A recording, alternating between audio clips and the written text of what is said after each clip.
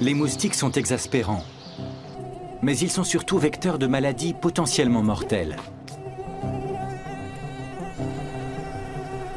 Je n'ai jamais été aussi malade que lorsque j'ai eu la dengue. Chaque année, les moustiques transmettent la dengue à des millions de personnes. La forme grave peut être mortelle. Les virus peuvent voyager avec l'homme. Ces moustiques d'origine tropicale et leurs virus se propagent désormais en Europe. Nous n'avons rien pour freiner les virus.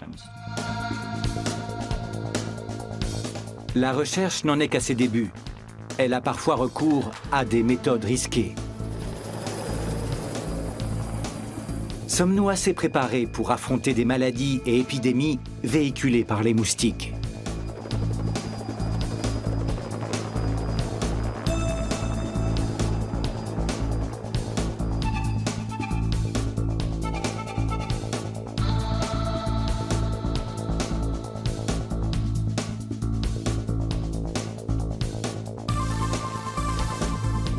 Un épandage anti-moustique en Allemagne. Autour de Karlsruhe, en bordure du Rhin, on est sur la brèche. Une invasion de moustiques est annoncée. Il fait 28 degrés. On est au dernier stade larvaire. Nous avons une heure de retard. Allez, c'est parti. L'éclosion des premiers moustiques est imminente. Nous devons traiter au minimum 1000 hectares et le temps presse. Il fait très chaud aujourd'hui, 28 degrés, et demain on dépassera les 30. Il faut se dépêcher pour éliminer les larves. Certaines ont déjà atteint le dernier stade larvaire. Nous avons un jour pour les éliminer. Norbert Becker est un spécialiste des moustiques reconnu. Lui et son équipe ont mis au point un insecticide destiné à l'épandage à grande échelle. Une protéine d'origine bactérienne cristallisée, toxique pour les larves. La méthode est désormais utilisée de part et d'autre du Rhin, aussi bien dans le reste de cette région qu'en Alsace. Le réservoir d'insecticides a une capacité de 400 kg, assez pour traiter environ 20 hectares.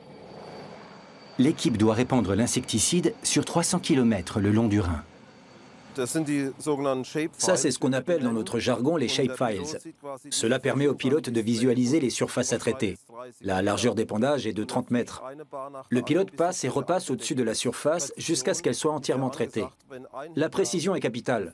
Il suffirait qu'un seul hectare soit oublié pour que 100 à 300 millions de moustiques se développent et finissent par infester toute la région.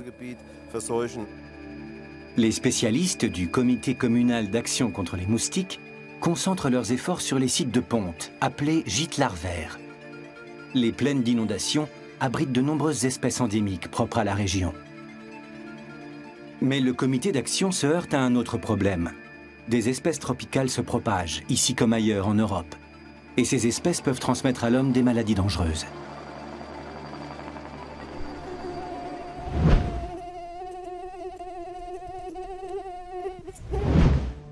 S'agit surtout du moustique tigre asiatique, qui a d'abord envahi les États-Unis. Il a débarqué à Gênes à la fin des années 80, en passager clandestin dans des pneus usagés transportés par bateau.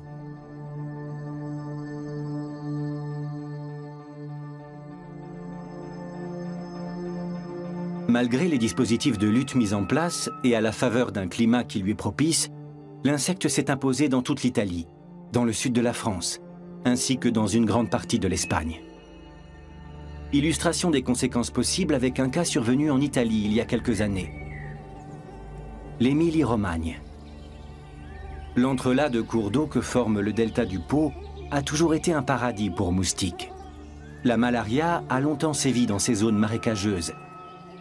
Mais on pensait en avoir fini avec ces maladies d'un autre temps jusqu'à l'été 2007, lorsque Castiglione di Cervia, près de Ravenne, est frappé par une épidémie.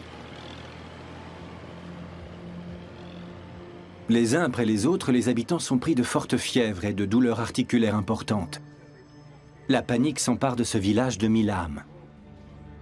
Antonio Ciani revient tout juste de vacances lorsque lui aussi tombe malade. Il y a eu un moment où j'ai eu l'impression que j'allais y passer. J'ai vraiment pensé que ma dernière heure avait sonné. En l'espace de quelques jours, on recense 247 malades.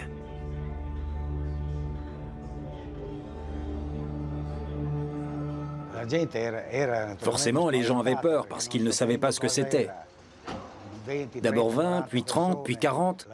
Le nombre de cas était très préoccupant. On se demandait quelle maladie ça pouvait bien être. Personne n'est en mesure de donner une réponse, pas même les médecins des environs. Au café, en face de l'église, les rumeurs vont bon train. Alors on décide d'informer les autorités sanitaires de Ravenne, compétentes en la matière.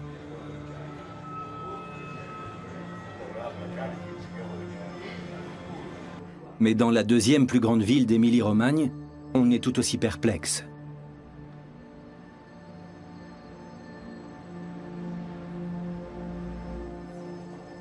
Dès ses premiers entretiens avec les habitants de Castiglione, Raffaella Angelini, médecin au département de santé publique, comprend que le cas est inédit. Une enquête auprès des hôpitaux environnants révèle un nombre étonnamment élevé de patients du village présentant des symptômes mystérieux.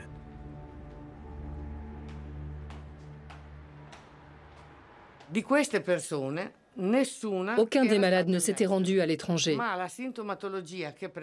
En revanche, les symptômes qu'ils présentaient faisaient penser à un arbovirus, un virus transmis par des insectes. Ça ne ressemblait pas à une maladie de chez nous. Les avis sont unanimes. Cette maladie a été importée. Les habitants de Castiglione cherchent un coupable. Après avoir incriminé la pollution et les politiques, on se tourne finalement vers les émigrés africains, que l'on accuse d'avoir introduit l'épidémie.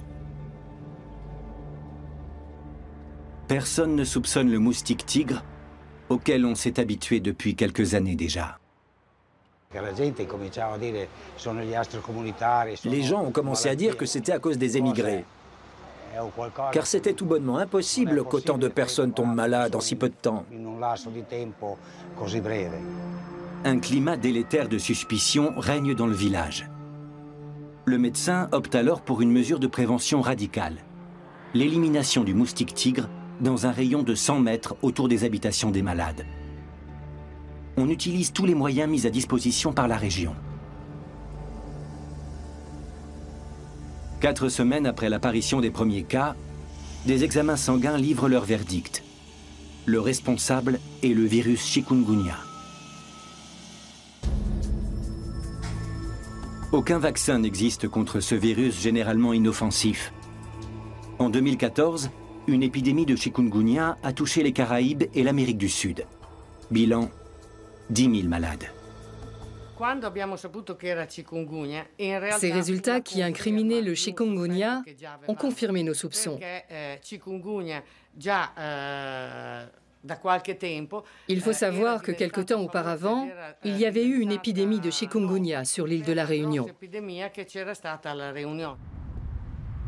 Mais quel rapport entre l'apparition de cette épidémie tropicale à la Réunion en plein océan Indien et l'éruption du chikungunya dans le petit village italien de Castiglione di Cervia. C'est ici que le moustique tigre intervient. Pour propager cette maladie tropicale, il suffit au moustique de piquer une seule personne porteuse du virus. Reste donc à identifier ce porteur humain et son origine. Kenya, l'année 2004.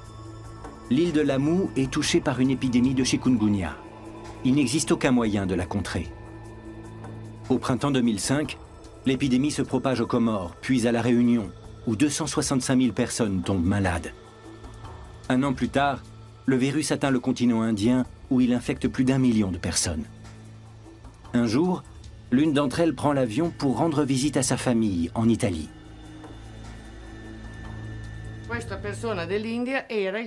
C'est cet Indien qui s'est trouvé être le fameux cas zéro. Nous avons fini par le retrouver et nous lui e, avons eh, demandé d'effectuer une analyse de sang, même s'il était de nouveau en bonne santé.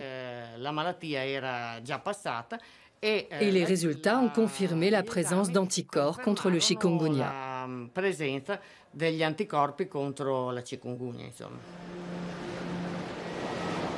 À Castiglione et di Cervia, on parvient enfin à enrayer l'épidémie.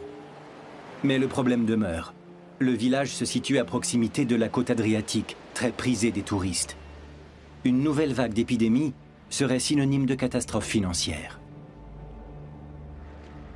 Depuis, la région a alloué un budget de plus d'un million trois cent mille euros par an à l'éradication des moustiques tigres et au développement de plans d'urgence.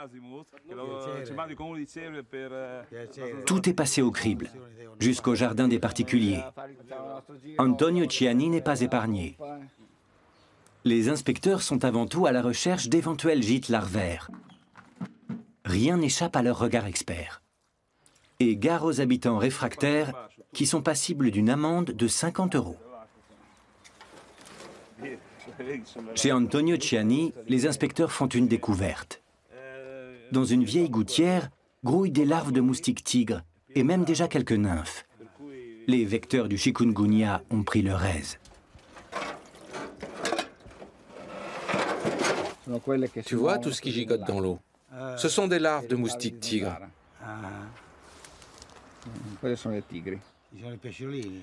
No, sono proprio le larve, le larve che si muovono, quelle sono lì. Ci sono sia le larve che le pupe. Sans plus attendre, les hommes appliquent le protocole d'éradication. Ils utilisent deux insecticides de synthèse qui agissent comme toxiques de contact et neurotoxiques, mais qui présentent un inconvénient. En même temps que les moustiques, leur cocktail tue tous les autres insectes, y compris les insectes utiles. Sans compter que les insecticides peuvent induire des résistances et qu'ils ne sont a priori pas sans conséquences sur les hommes et les autres mammifères. En Allemagne, on a d'ailleurs renoncé à utiliser ce genre de produit. Lorsque l'habitation abrite un malade du chikungunya, les inspecteurs doivent éliminer les moustiques tigres dans un rayon de 100 mètres. Antonio Ciani, lui, n'entre plus dans cette catégorie.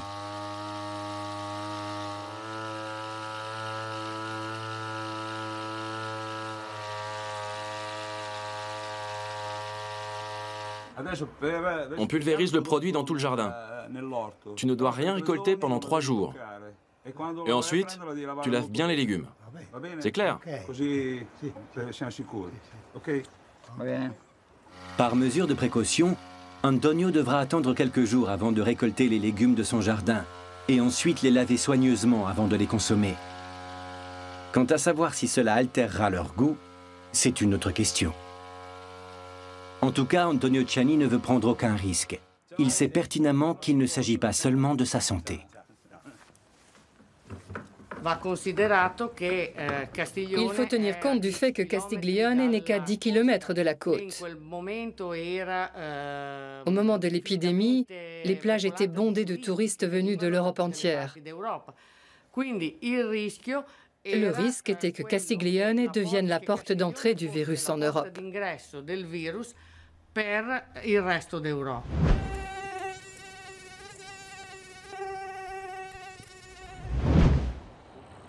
En Italie du Nord, en Autriche et en Suisse, le moustique tigre asiatique est déjà largement implanté. À la faveur de la mobilité croissante des individus, il poursuit sa progression vers le nord. Mais les virus tropicaux ne l'ont pas attendu.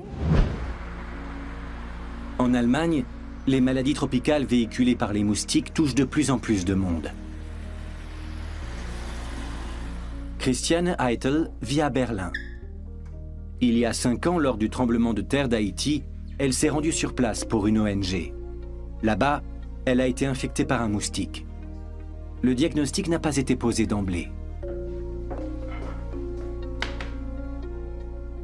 Ça s'est manifesté environ cinq jours après mon retour d'Haïti. C'est arrivé d'un coup. Un matin, j'ai eu une poussée de fièvre incroyable et je n'arrivais pas à me lever. J'avais des douleurs articulaires terribles. Je me suis dit, mon Dieu, mais qu'est-ce que c'est? J'ai d'abord évidemment pensé au paludisme. C'était évident que je devais me faire examiner sur le champ. Son médecin traitant n'arrive pas à identifier formellement les symptômes. C'est l'Institut de médecine tropicale qui pose le diagnostic. La dengue, une maladie tropicale semblable au chikungunya, mais encore plus douloureuse. J'étais dans un tel état que je me suis dit que je n'en avais plus pour longtemps. Mais le plus dur, c'était la réaction de mon entourage quand ils me rendaient visite, ma voisine de palier et surtout mon fils. Je pouvais lire la terreur dans leurs yeux et ils étaient totalement impuissants. Ils ne savaient pas du tout quoi faire, comment me réconforter, comment m'aider. Je peux dire que c'est dans leur regard que j'ai compris que j'étais dans un état grave. Christiane Eitel s'est rétablie. Mais rien ne dit qu'elle est totalement immunisée contre la dengue, qui compte quatre types de virus différents. Des moustiques peuvent-ils transmettre à l'homme des virus tropicaux dangereux sur le territoire européen? C'est ce que les chercheurs basés dans le nord de l'Allemagne veulent déterminer.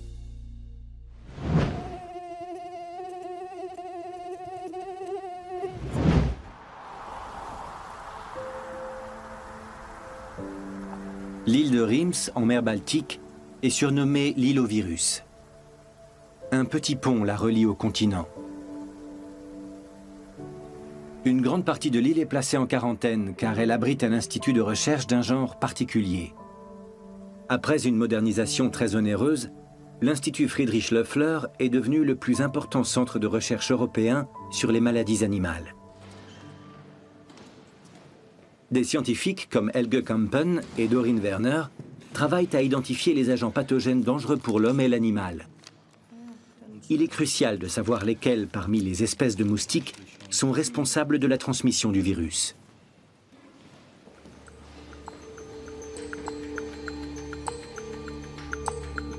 La science sait encore très peu de choses sur le sujet.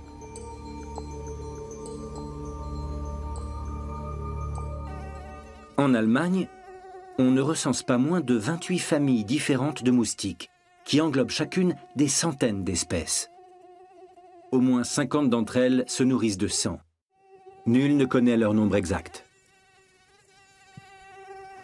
Helge Kampen et Doreen Werner avancent en terre inconnue. Après l'éradication du paludisme en Allemagne, la recherche sur les moustiques a été relativement négligée.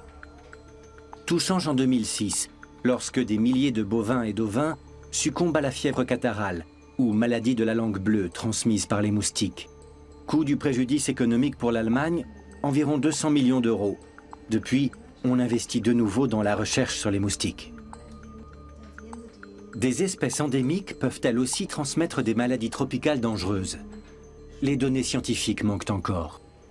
Nous en savons un peu plus sur la biologie et l'écologie des espèces endémiques de moustiques suceurs de sang. Il en existe une cinquantaine en Allemagne. Mais nous ignorons quels agents pathogènes ces espèces endémiques sont susceptibles de transmettre le groupe de recherche s'est fixé un objectif ambitieux. Dresser un état des lieux des populations de moustiques, puis établir un atlas qui recense les espèces et leur diffusion en Allemagne. Dans cette course contre la montre désormais engagée, la grande inconnue reste la capacité d'adaptation des moustiques tropicaux au climat allemand.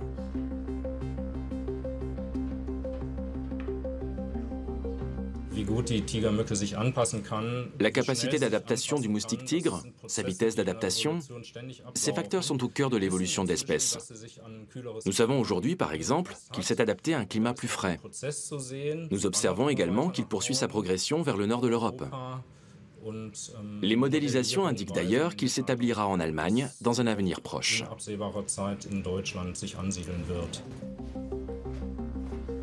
En 2013, grâce à l'aide de centaines de bénévoles, plus de 12 000 moustiques ont été récoltés sur l'ensemble du territoire allemand.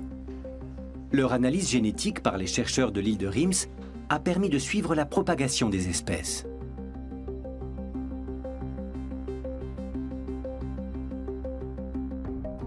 Grâce à cette cartographie de plus en plus précise des populations de moustiques en Allemagne, Doreen Werner peut suivre la diffusion à l'échelle nationale d'un autre moustique tropical, Aedes japonicus.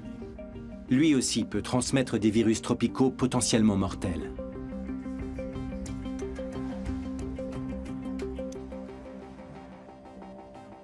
Un autre problème préoccupe tout autant les scientifiques.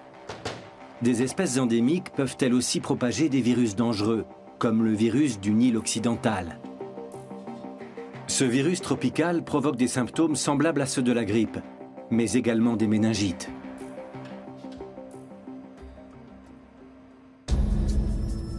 Aux États-Unis, à la fin des années 90, le virus du Nil occidental s'est répandu à une vitesse fulgurante. Bilan 10 000 infections, dont plus de 1000 mortels. Théoriquement, le virus du Nil occidental pourrait aussi se transmettre par les moustiques de nos régions. C'est en tout cas ce que nous supposons. Il y a eu depuis les années 60 en Europe plusieurs épidémies. Aucune n'a encore frappé l'Allemagne. Pourquoi Nous l'ignorons. Mais nous ne sommes pas à l'abri. L'Institut Friedrich Loeffler s'est donné les moyens de ses ambitions. Dans un laboratoire de haute sécurité, ces chercheurs veulent percer les secrets des maladies virales en injectant les virus aux moustiques.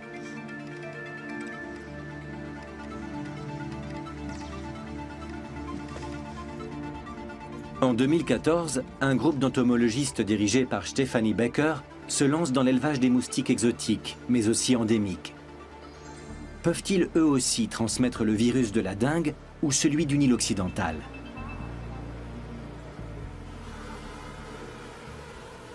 Première étape, comprendre comment les différentes souches virales se développent à l'intérieur de l'insecte. Les virus sont souvent très sélectifs vis-à-vis de leurs hôtes. On l'observe notamment chez le moustique tigre et Aedes japonicus.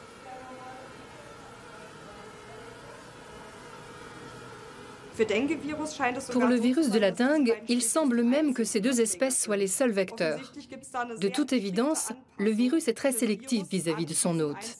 À ce stade de nos recherches, on ne sait pas encore quels sont les processus moléculaires à l'œuvre. Chaque année dans le monde, on recense environ 390 millions d'infections par le virus de la dengue, dont 500 000 cas graves et plus de 22 000 décès.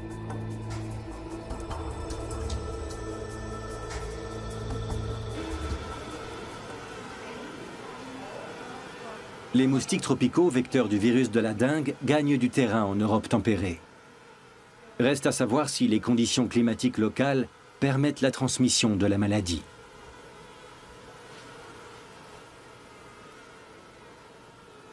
On ne peut pas prédire si un moustique sera un meilleur vecteur ou non une fois établi dans un nouvel environnement. On est obligé d'effectuer des tests au cas par cas. C'est l'un des principaux objectifs de nos recherches. En laboratoire, les conditions de recherche sur les moustiques sont très contraignantes.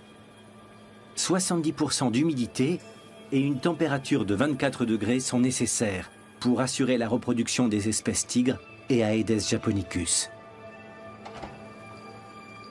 Et si l'on veut que les moustiques femelles pondent leurs œufs, il faut en plus leur fournir du sang. Les scientifiques profitent du moment des repas pour les infecter avec divers virus particulièrement contagieux.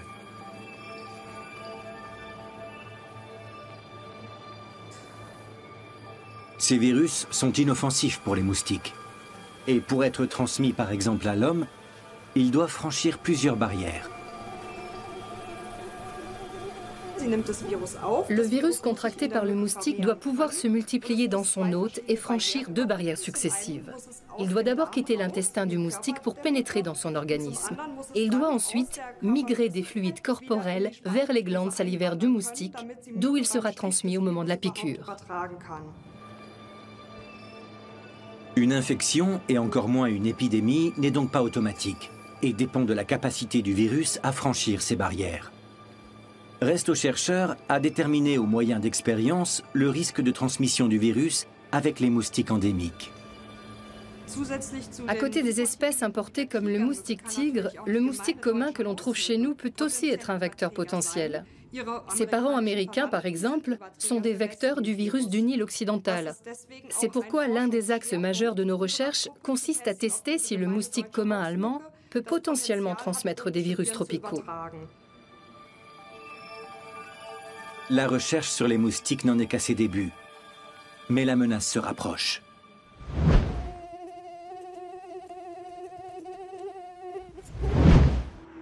L'autoroute A5 au niveau de Fribourg-en-Brisgau passe à proximité de la frontière française. Le long de cet axe nord-sud très emprunté, les espèces exotiques de moustiques sont de plus en plus fréquentes. Sur cette aire de repos, Arthur Yost et ses collègues ont mis en place un suivi rigoureux des moustiques.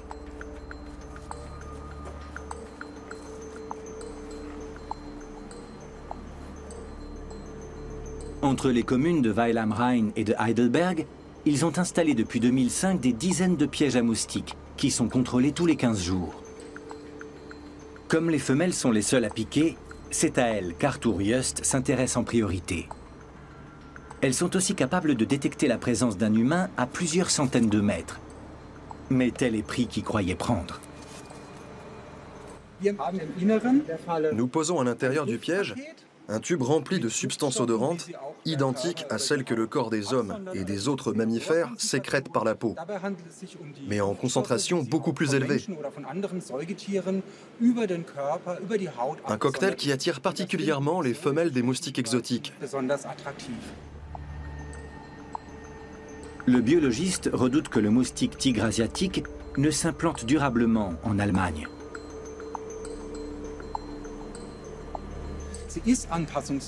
Ce moustique fait preuve d'une grande capacité d'adaptation en ce qui concerne le choix des gîtes larvaires ainsi que le climat. Il résiste à la concurrence et évince les espèces endémiques qui pondent aux mêmes endroits. Bref, il possède de bons atouts pour s'implanter ici. Dans cette région frontalière avec la France, les chercheurs trouvent de plus en plus souvent des moustiques tigres venus d'ailleurs. En Allemagne, aucune infection virale transmise par un moustique tigre n'a encore été recensée. En France, en revanche, plusieurs cas ont été répertoriés. Le biologiste cherche à savoir si l'espèce est déjà implantée dans la région. Alors, qu'est-ce qu'on a là? Tenez, nous avons attrapé un moustique tigre. Le moustique tigre est facilement reconnaissable à ses rayures blanches.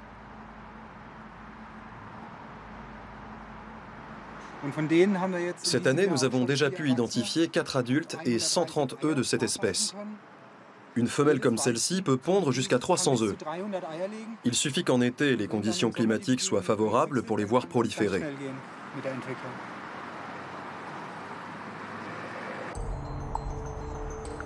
Comment stopper l'invasion des moustiques exotiques et leurs virus Première étape pour Arthur Just, étudier les conditions de reproduction des insectes. Leurs gîtes larvaires se distinguent très nettement de ceux des espèces endémiques.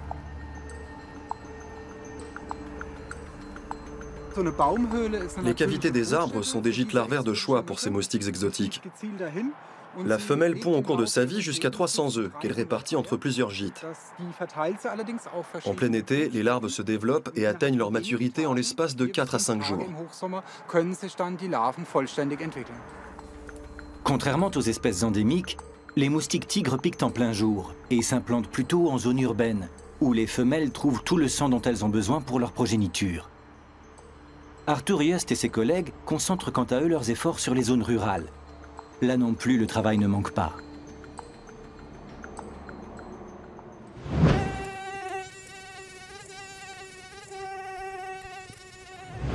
Au siège du comité communal d'action contre les moustiques, situé à Speyer, Norbert Becker et ses collègues ont mis au point il y a une trentaine d'années déjà un biopesticide à partir de la bactérie BTI, ou Bacillus thuringiensis israelensis.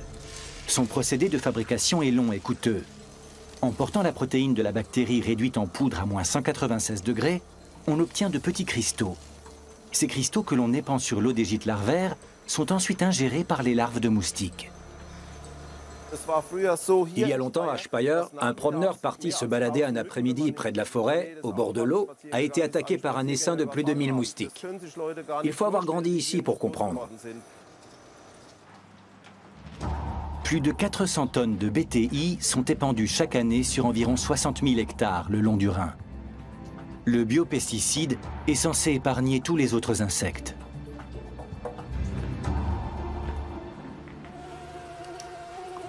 Afin de vérifier et d'améliorer l'efficacité du BTI, y compris sur les moustiques exotiques, les chercheurs ont mis sur pied leur propre laboratoire d'élevage.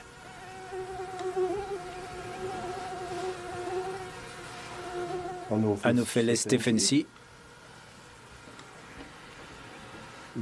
Prends-en le plus possible. Il y en a d'autres là-haut. Les résultats de ces recherches en laboratoire et leur mise en application sur le terrain ont permis de réduire de plus de 90% la population de moustiques dans le fossé rhénan. Un taux de réussite qui a valu à Norbert Becker une renommée internationale.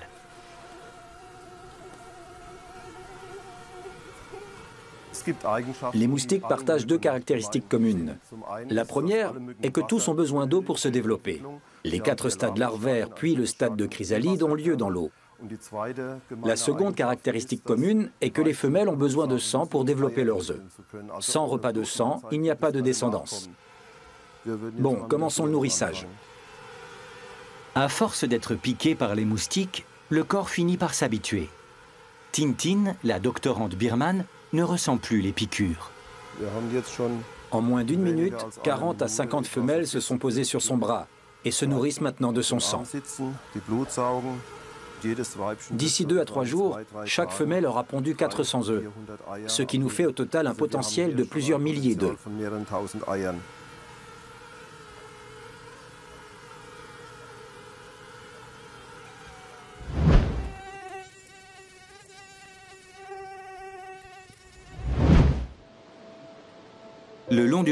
La brigade anti-moustique est de plus en plus sollicitée. En cause notamment la fréquence plus élevée des pluies et des crues. Les marécages et les prairies entre Karlsruhe et Bingen sont des sites de ponte idéaux pour les espèces endémiques. En cas de crue, la brigade doit agir sur le champ, car les premières larves de moustiques se forment aussitôt dans l'eau.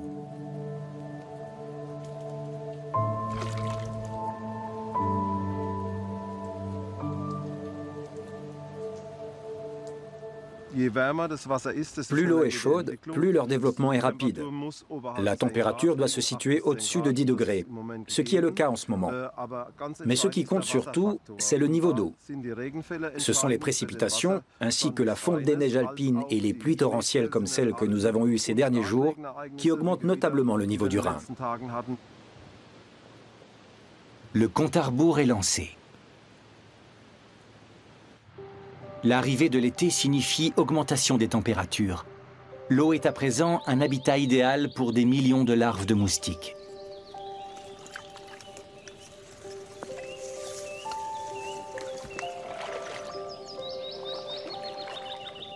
Les spécialistes doivent absolument déterminer le stade de développement de ces larves. Ils ne disposent que de quelques jours pour agir.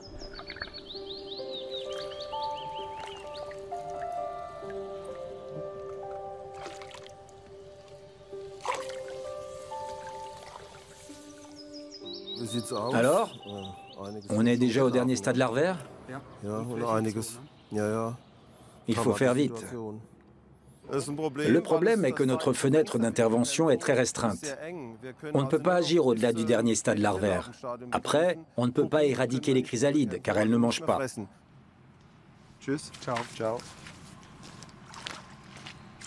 Pour éliminer les dernières larves, le BTI doit être répandu manuellement dans les moindres recoins des prairies qui bordent le Rhin. Une opération des plus laborieuses. C'est un granulat composé de sable de quartz mélangé à de l'huile alimentaire et à de la poudre de BTI. Ça s'est avéré très efficace ici, avec ce genre de végétation. On ne peut pas atteindre la surface de l'eau en pulvérisant le principe actif sous forme liquide, à cause de la végétation qui est très haute.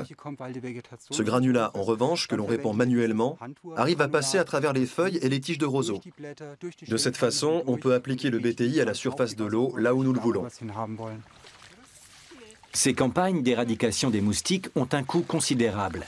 Chaque été, elle mobilise jusqu'à 250 personnes le long du Rhin. La région, il est vrai, compte environ 3 millions d'habitants. La lutte anti-moustique coûte aux communes participantes entre 3 et 4 millions d'euros par an. Et l'addition pourrait encore grimper. Les épisodes de fortes précipitations suivies de chaleur sont de plus en plus fréquents et s'accompagnent d'une prolifération de moustiques. Le changement climatique accentue-t-il la propagation de ces envahisseurs?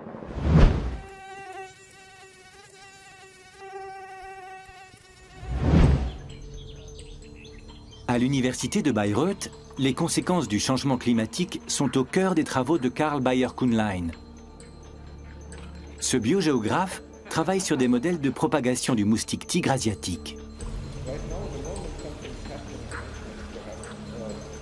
Karl Bayer-Kuhnlein veut découvrir comment les évolutions climatiques influencent la faune et la flore des régions. les modélisations semblent très favorables aux moustiques tropicaux.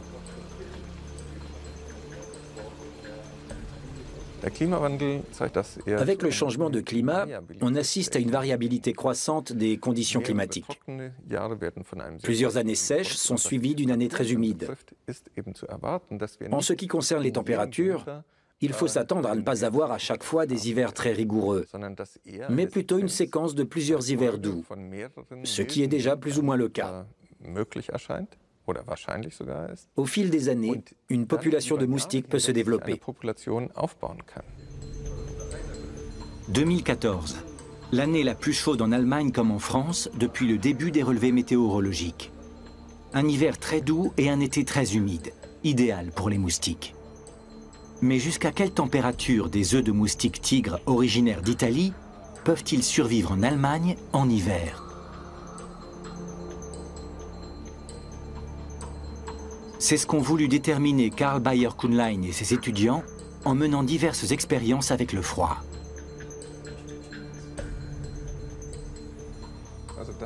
Les résultats sont inattendus. Ici, nous voyons que les œufs sont encore en grande partie intacts. Celui-ci paraît juste un peu cabossé ici, comme s'il avait reçu un choc.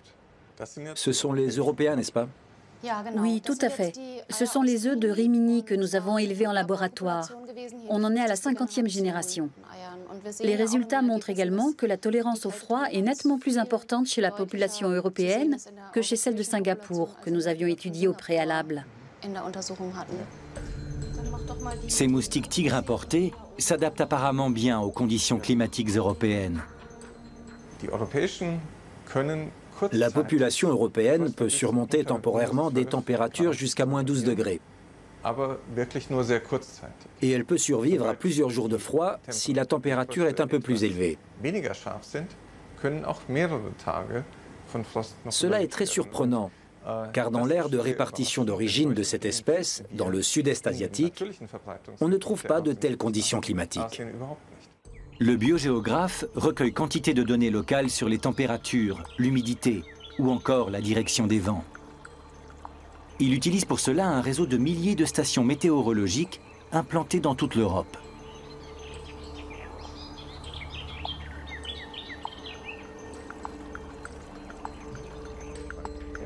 La distance que les moustiques peuvent parcourir grâce au vent, le taux d'humidité propice à leur multiplication, sont autant de données couplées à des prévisions de température, pour l'Allemagne, mais aussi pour la France.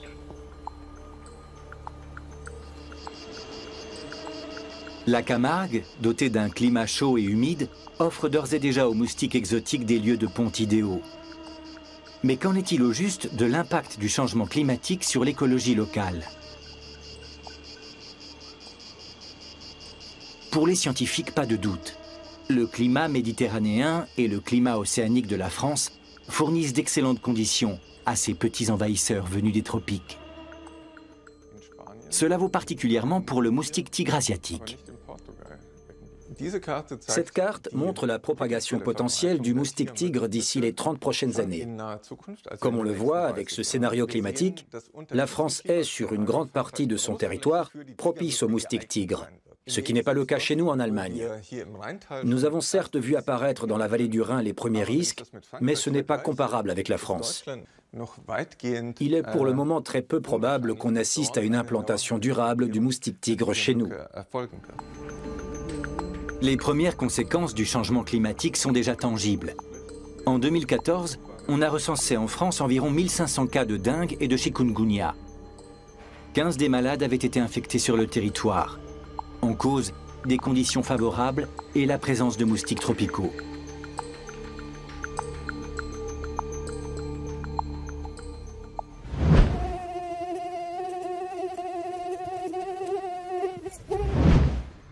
Retour à Berlin avec Christiane Eitel, piquée il y a quelques années à Haïti par un moustique qui lui a transmis la dengue. Aujourd'hui, elle aimerait savoir si un nouveau voyage sous les tropiques est envisageable. Elle va s'informer auprès d'un médecin spécialiste des voyages et des tropiques. Celui-ci reçoit de plus en plus de patients atteints par cette maladie virale. Mais il n'existe aucun traitement contre celle qu'on appelle aussi grippe tropicale. Nous n'avons rien pour freiner le virus lui-même. Nous ne pouvons administrer aucun virostatique qui permettrait de le tuer rapidement. Nous ne pouvons que traiter les symptômes, c'est-à-dire soulager les maux. Cela signifie généralement calmer la douleur et faire baisser la fièvre. En Allemagne, les cas de dingue recensés ont décuplé depuis 2001. Thomas Jelinek reçoit des patients infectés toutes les semaines. Seule arme pour protéger Christiane Heitel et les autres, la prévention.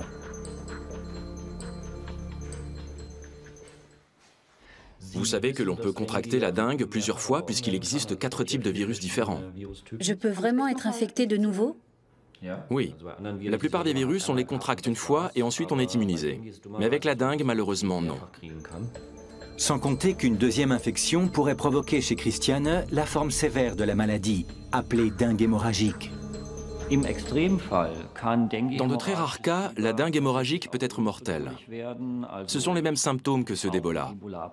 Le patient souffre de fièvre, de maux de tête et d'hémorragie. Mais c'est beaucoup plus rare qu'avec Ebola, et les organes internes ne sont pas autant touchés.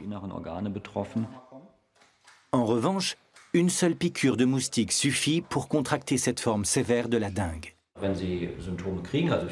Si vous présentez ces symptômes, fièvre, douleur articulaire, que vous reconnaîtrez puisque vous avez déjà contracté la dengue, prenez un t-shirt ou un bout de tissu quelconque, nouez-le autour de votre bras afin de faire saillir vos veines. Attendez 5 minutes, puis relâchez et observez votre avant-bras. Si celui-ci présente des petits points qui ne partent pas en appuyant, c'est qu'il s'agit de minuscules hémorragies au niveau des petits vaisseaux sanguins, qu'on appelle les capillaires. C'est le tout premier signe d'une dengue hémorragique. Il faut alors de toute urgence se rendre dans un hôpital ou chez un médecin pour se faire soigner. Des conseils comme celui-ci peuvent sauver la vie de Christiane même s'il serait préférable qu'elle évite tout risque d'une deuxième infection. Le médecin lui fait quelques recommandations de base.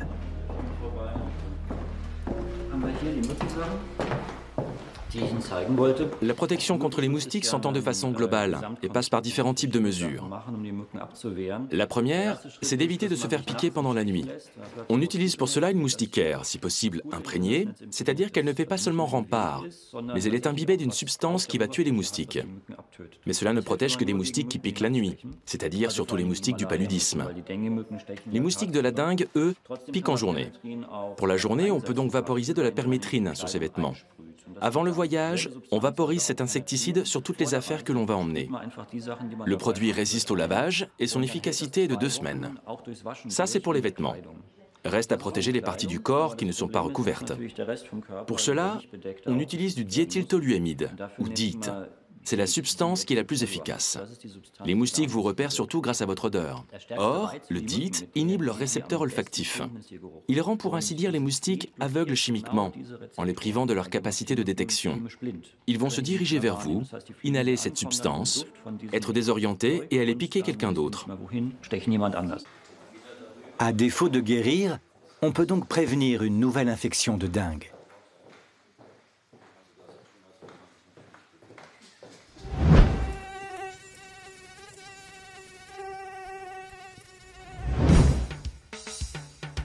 Dans le monde, 2 milliards et demi de personnes sont susceptibles de contracter la dengue. Le Brésil recense à lui seul plus d'un million de cas par an. On comprend dès lors que le pays consacre annuellement plus d'un milliard de dollars à la lutte contre les moustiques.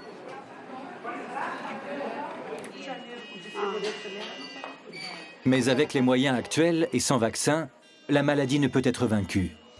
Conséquence, l'agent pathogène se propage. Les grands rassemblements, comme la Coupe du Monde de football en 2014, jouent un rôle important. Chaque supporter piqué par un moustique est un exportateur potentiel du virus.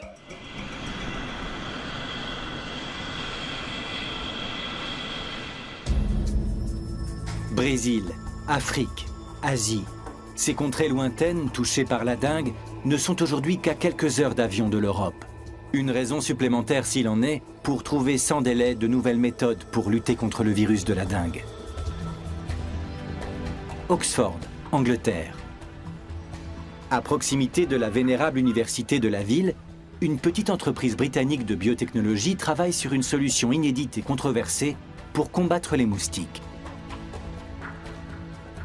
Chez Oxitec, on veut, grâce au génie génétique, gagner de l'argent tout en enrayant le fléau de la dengue. Les deux objectifs n'étant pas a priori incompatibles. Ici, les chercheurs veulent prendre le problème à la racine et agir sur les gènes des moustiques. À première vue coûteux, le procédé est somme toute bon marché au regard des milliards engloutis pour lutter contre la dengue. Capital investi, des millions d'œufs de moustiques génétiquement modifiés. Les scientifiques d'Oxitec ont introduit dans le patrimoine génétique d'un moustique mâle vecteur de la dengue un gène tueur censé éliminer toute sa descendance alors qu'elle est encore au stade larvaire. Hayden Perry a déjà testé ces moustiques génétiquement modifiés Aedes aegypti dans des régions tropicales touchées par la dengue. En Europe, ces lâchers en pleine nature sont interdits. Chacun de nos tests nous a permis de réduire la population de moustiques Aedes aegypti de plus de 90% dans la zone de lâcher. Ce qui, honnêtement, est un résultat extraordinaire comparé aux autres approches, qu'elles soient chimiques ou non. Les chercheurs se servent d'une fine aiguille de verre pour inoculer le gène tueur à des milliers d'œufs de moustiques.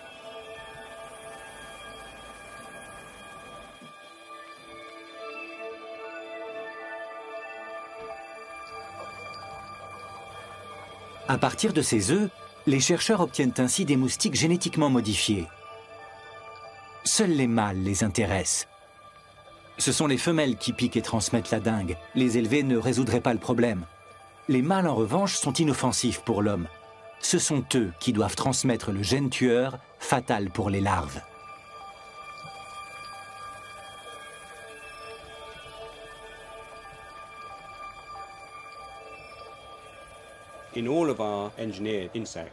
Tous nos insectes génétiquement modifiés sont porteurs d'une protéine fluorescente.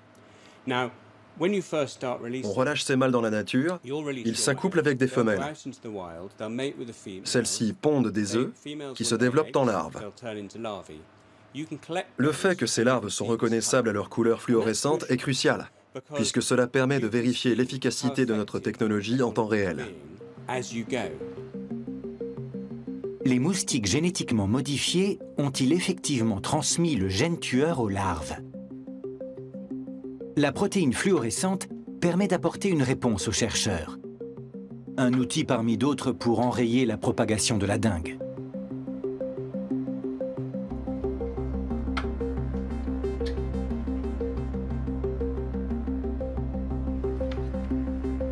Afin que les larves survivent et puissent fournir à leur tour des moustiques mâles OGM, les chercheurs leur administrent en laboratoire de la tétracycline, un antibiotique qui inhibe le gène tueur. Dans la nature, sans cet antibiotique, les larves mourraient.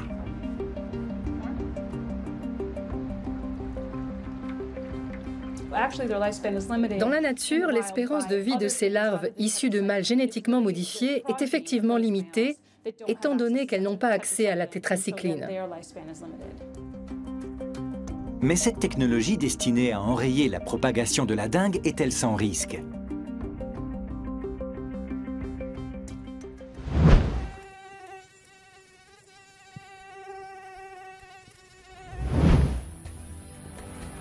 Dans l'état de Bahia, au Brésil, Oxitec entend bien démontrer que ces lâchers expérimentaux sont sûrs et efficaces.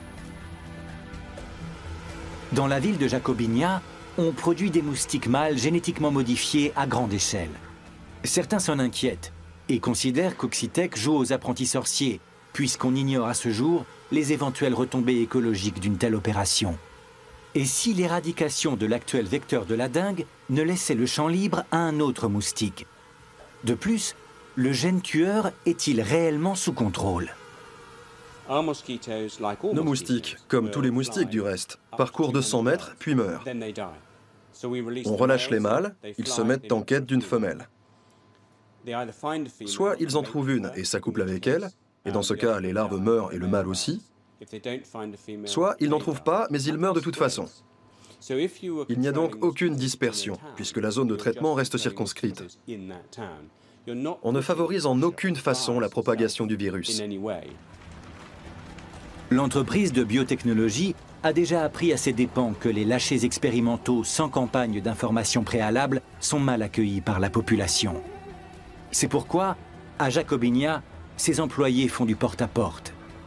Reste à savoir si les habitants sont vraiment informés des dangers encourus.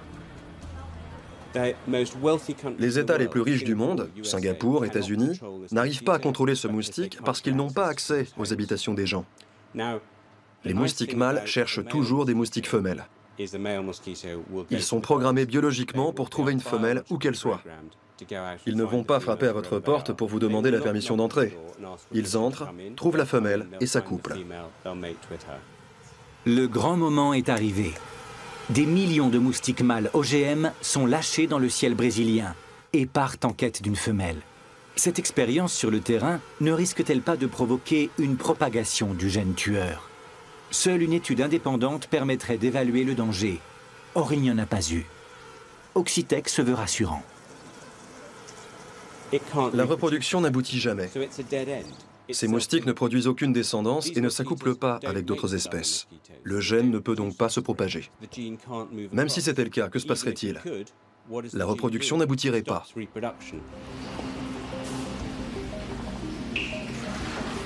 Au Brésil, des millions de moustiques génétiquement modifiés seront relâchés en pleine nature dans les années qui viennent. Et pas seulement là-bas, puisqu'Oxitec est désormais également actif au Panama.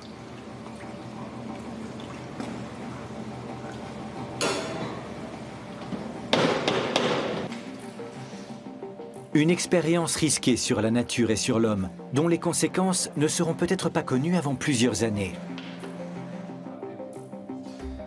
D'un autre côté, le Brésil a besoin de nouvelles méthodes pour combattre la dengue. Reste aux moustiques OGM à faire leurs preuves.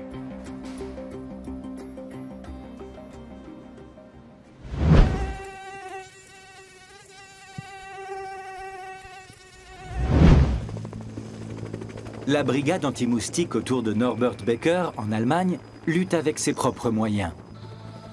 Sa saison d'intervention le long du Rhin se termine généralement en automne, mais rien ne dit que la cadence des interventions ne va pas s'accélérer.